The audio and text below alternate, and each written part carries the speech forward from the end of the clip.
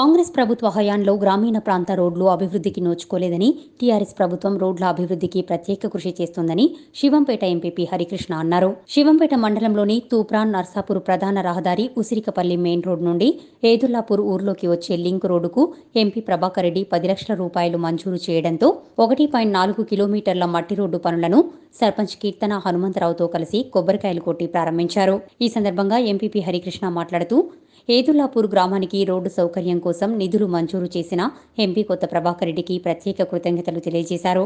కార్యక్రమంలో సర్పంచ్ కీర్తన హనుమంతరావుతో పాటు PACS chairman Venkataramareddy vice chairman Venugopal Reddy Rythu Bandhu Samithi అధ్యక్షుడు నరసింహారెడ్డి సంఘ సేవకులు దంత వైద్యులు డాక్టర్ సంతోష్ కాంట్రాక్టర్ మహేందర్ రెడ్డి మాజీ సర్పంచ్ సునందారెడ్డి నాయకులు జైపాల్ రెడ్డి వెంకటరెడ్డి తదితరులు ఉన్నారు.